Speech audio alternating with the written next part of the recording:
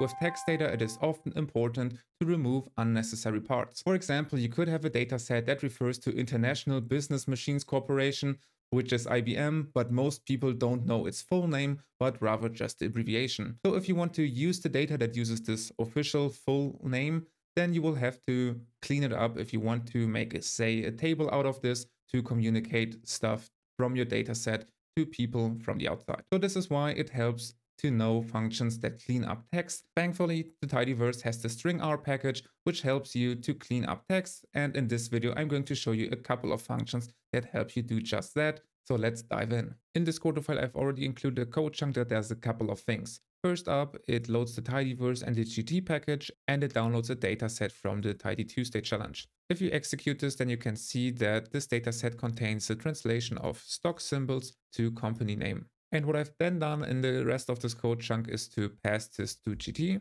This will give us a table like this. And then I have added a header so that I have a title and subtitle.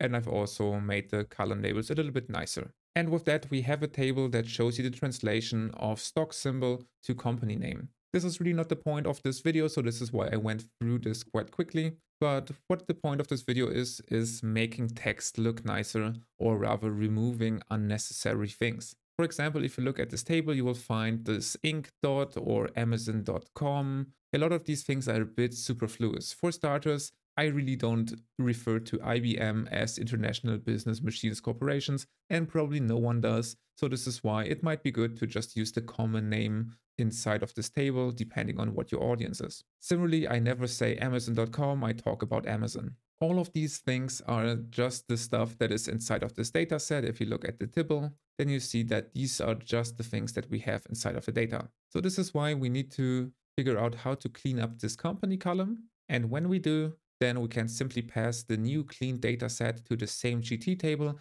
and then we have a bit of a better table because people can probably read it better or understand at least which companies are meant. So this is the goal for our video today. Let's start on that by having a look at the data set again. And then also we can minimize this window here because we need to work on the data here inside of the console. The first thing we might want to remove is all of the stuff like inc dot and corporation. And the way this could work is to take this data set and pass it to mutate, where we override the company column by using string remove all on this company column. And string remove all needs a pattern or a string that it is supposed to remove from the company column. And here we simply say use inc dot, or this is what this vertical line does, or the word corporation. And if we do that, then we get the right results. We have removed all of the inc dots, but we have to be careful here really this dot here is not what it seems. And to prove that to you, let me just use string remove all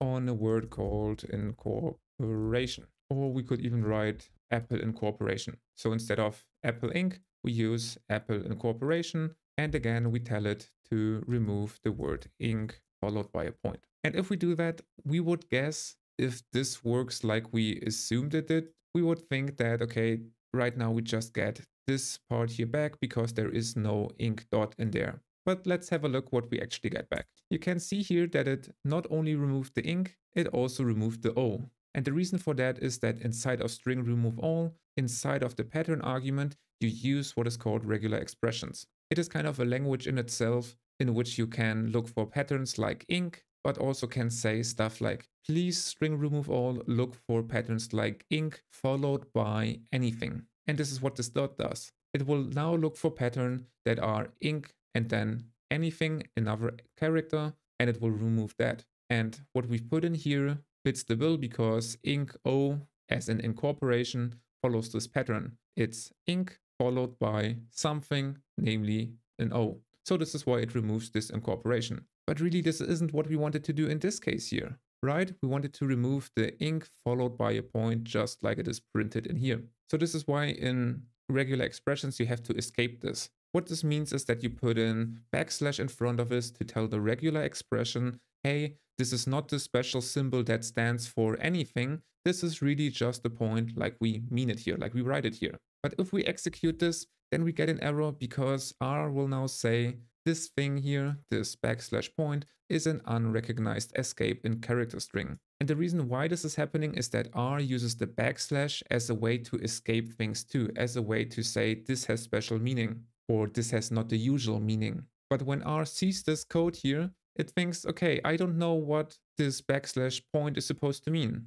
Regular expressions know what this means, but the first stage is going through R and then it goes to the regular expression, which again you can think of as a language in itself. So this is why you have to escape the escape backslash and put another escape in front of it to tell R this backslash is a regular backslash just like we wanted to, and then the code works. Now that we have that covered, let us work on the next thing. You may notice that there are white spaces at the end of the words now. Because the thing is, in our previous data set, we have only removed these parts here, but this still leaves the white space in front of it. There are two ways to remove this. One, you could just put in a white space in front of Inc. and in front of corporation, and this would work. But what I like to do is to use a different function for these kind of things, because I don't want to make my regular expression that I have in here unnecessarily complicated because it's really easy to lose track of what's going on. So instead, let us stick with this one here, but replace, once that is through,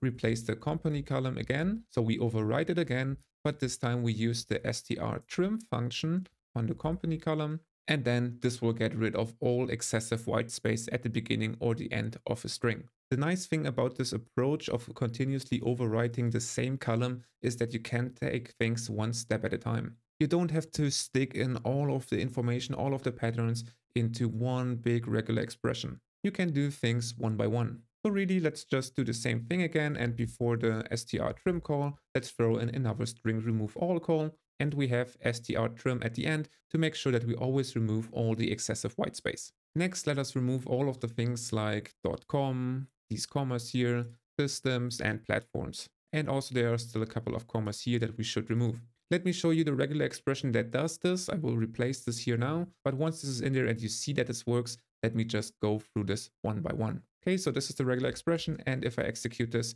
I remove all of the things. So you know that this does the trick. So let's untangle this inside of a new code chunk. So one thing you would probably have no problem with is this part here. This part is just like the thing that we have done before. We get rid of the .com or the systems or the platforms, right? We just have to make sure that the point here, the dot, is escaped again because we want to literally get rid of .com. And once we remove that, we get rid of all of the unnecessary words. But now the commas are still in there. We could try to put in a comma after the .com, after the systems, and after the platforms. That might work, but is really just too much code. So instead, what we can do is to put in a grouping. Right now the code still works the same. I have re-executed it and you can see that the output is the same. Right now the regular expression here says there is a part coming, a group, and, and what constitutes a group is either the word platforms, the word systems, or the word .com. And now we also want to remove all of the commas that come after these. So if we do that, we got rid of a couple of commas. For example, there is Amazon.com is gone now, but there is still Salesforce, Netflix, comma, and Tesla, comma. And the reason why it didn't work on these words is because we didn't remove any of the groups here. Really, it didn't say .com systems or platforms inside of Cisco or for Meta or for Tesla or for Netflix. Actually, it said that for Meta, this is why it worked, but it didn't say that for Netflix and Tesla. Okay, so this is why we have those commas still here. So right now, commas are only removed if they are preceded by one of the three words we are looking for, by the one group we say comes inside of our pattern.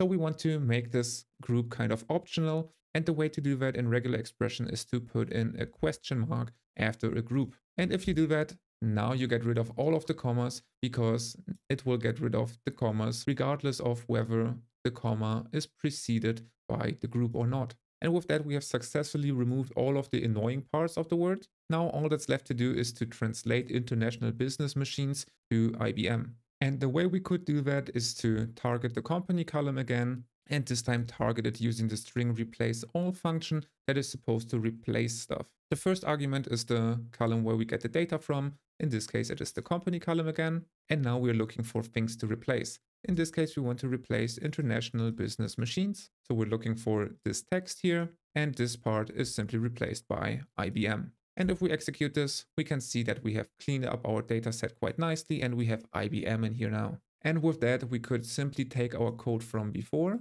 our GT code, and put this at the end of this, and then we get a nicely formatted table. And with that, we have learned how to do a little bit of text cleaning by removing unnecessary words or replacing them with something else. If you have any questions, feel free to drop them in the comments. As always, you can find the code that I have shown you in this video in the corresponding blog post. A link to that is put into the description of this video. Now enjoy the rest of your day and see you next time.